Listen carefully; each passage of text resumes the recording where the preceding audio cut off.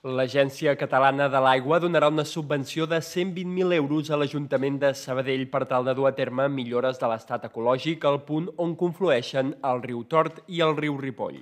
El pla inclou accions de renaturalització que es faran mitjançant sistemes de bioenginyeria per tal de pal·liar els efectes del canvi climàtic. D'aquesta manera doncs, es vol recuperar l'àmbit fluvial amb l'eliminació d'estructures existents amb sistemes de bioenginyeria, la restauració dels talusos, camins i espais adjacents de, de Camp Bastida, l'erradicació de les espècies invasores i la plantació d'espècies herbàries, arbustives i arbres de les lleres baixes i altes. Tot plegat amb la finalitat i l'objectiu de contribuir a la recuperació i a l'accessibilitat de l'estat ecològic i mm, faunístic de l'entorn del Ripoll. Per altra banda, també es treballarà per millorar la connectivitat del curs fluvial dels dos rius. L'actuació es portarà a terme en el marc dels objectius previstos en l'estratègia de desenvolupament àmbit Ripoll 2030 Sabadell.